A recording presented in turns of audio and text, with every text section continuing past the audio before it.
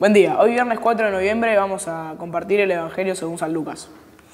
Decía también a los discípulos, había un hombre rico que tenía un administrador al cual acusaron de malgastar sus bienes. Lo llamó y le dijo, ¿qué es lo que me han contado de ti? Dame cuenta de tu administración, porque ya no ocuparás más este puesto. El administrador pensó entonces, ¿qué voy a hacer ahora que mi señor me quita el cargo? Cavar, no tengo fuerzas. Pedir limosnas, me da vergüenza. Ya sé lo que voy a hacer para que al dejar el puesto haya quienes me reciban en casa.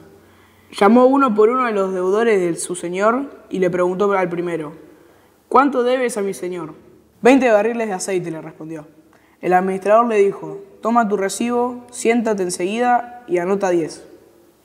Después preguntó al otro, ¿y tú cuánto debes? Cuatrocientos quintales de trigo, le respondió. El administrador le dijo, toma tu recibo y anota 300.